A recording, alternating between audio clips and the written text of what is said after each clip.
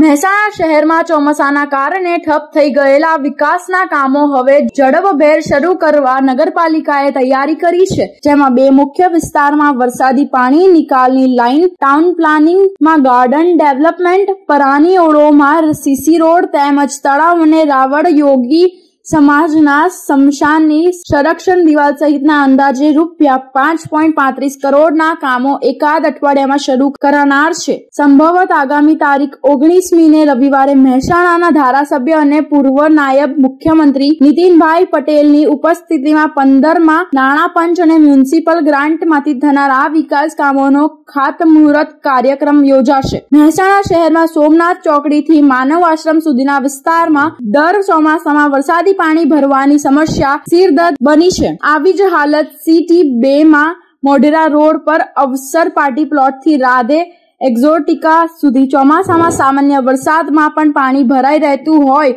વાહન ચાલકો હેરાનગતિનો ભોગ બનતા હોય છે.